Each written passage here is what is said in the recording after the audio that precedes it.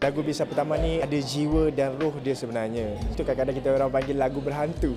Masing-masing ada sakit, jatuh dan bila jatuh kita bangun. Saya dah lima tahun dalam industri dan bagi saya ini adalah kejayaan saya.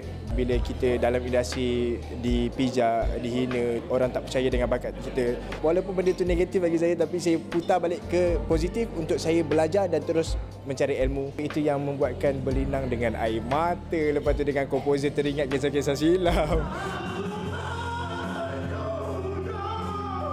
Punya perform mula-mula ingatkan ada masalah suara selain daripada kisah tak diambil berat oleh industri kita jadi mungkin ada kisah-kisah peribadi Sebenarnya saya meninggalkan adik saya yang istimewa dekat rumah semata-mata untuk mengejar cita-cita saya.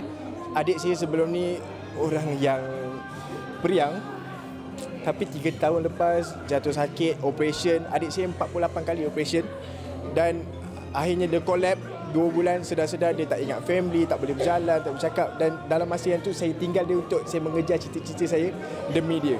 Support daripada keluarga terutamanya kedua ibu bapa saya tapi yang paling penting kalau tak ada manager saya saya tak ada sampai ke tahap ini sebab family saya belum tentu pandai dalam bidang industri. Bila saya menjumpa manager yang sebegini, dia pun tahu macam mana saya jatuh, saya bangun.